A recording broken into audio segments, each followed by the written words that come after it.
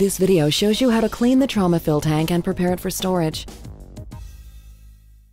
Here's what you'll need in addition to the trauma fill tank. Distilled water. Some towels. An overflow bucket or a sink. And the fill and vent line adapter if you are cleaning the METIman trauma tank.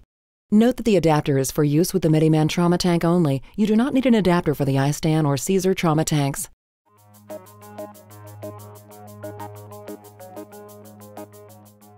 Remove the overflow bottle from the tank by unclipping the carabiner clip. Then disconnect the overflow line from the top of the bottle by pressing the metal release tab and pulling. Remove the lid. And rinse the overflow bottle well by pouring clean distilled water into the bottle and swirling it around. Be sure to empty the bottle when you're done.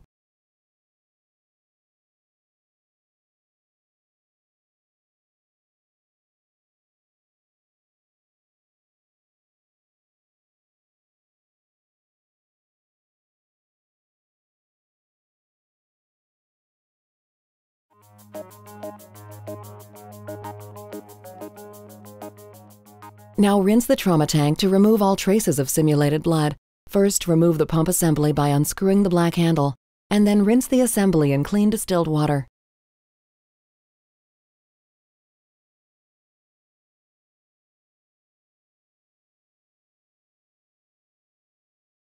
Empty the tank of any remaining simulated blood.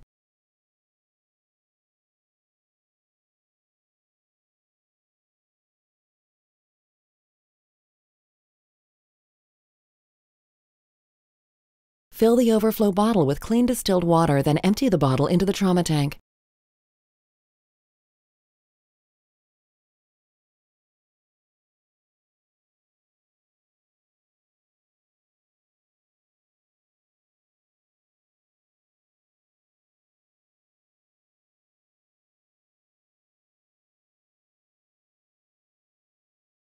Rinse the tank and then empty it into a sink or other receptacle.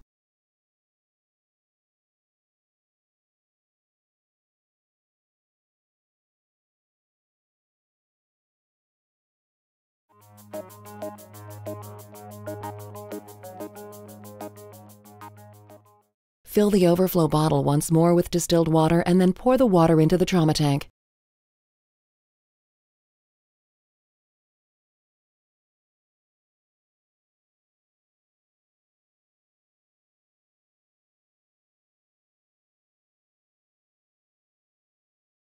Reinstall the pump assembly.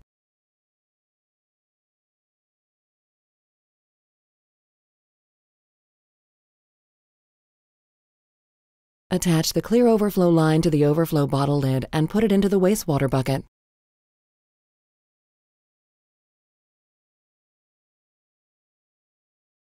If you are cleaning the iStan trauma tank, attach the fill and vent fittings together at the end of the lines. If you are cleaning the METIman trauma tank, use the adapter to connect the fill and vent fittings together. If you don't have a fill and vent line adapter, you can still follow the steps in this video to clean your METIman trauma tank but you'll need to consult the METIman user guide to learn how to flush and fill the vent lines.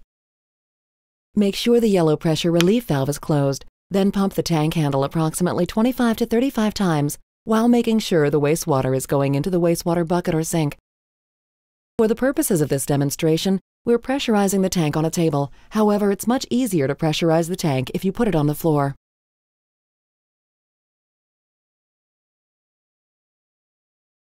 Allow the tank to empty completely. Remaining air pressure will purge fluid from the lines.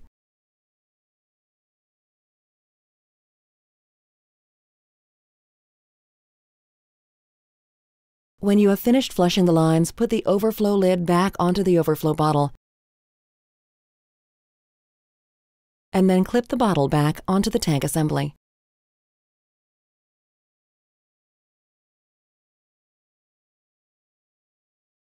Open the yellow pressure relief valve by turning it clockwise until you hear it click. You can wrap the fill and vent lines around the neck of the trauma tank to keep them out of the way.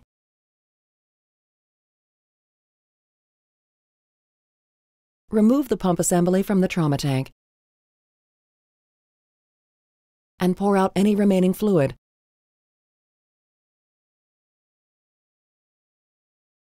Allow the tank to air dry.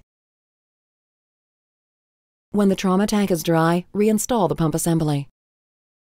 Disconnect the fill and vent fittings from each other. If you're using the METIman trauma tank, remove the fill and vent lines from the adapter. Finally, wrap the trauma tank fill and vent lines around the neck of the tank. The trauma tank is now ready to be stored. This video showed you how to clean the trauma fill tank and prepare it for storage. If you need more information, please consult the user guide for your simulator or call CAE Healthcare Customer Service at 1-866-462-7920 or at one of our international numbers if appropriate. If you found this video helpful and would like to see more, visit our website at www.caehealthcare.com.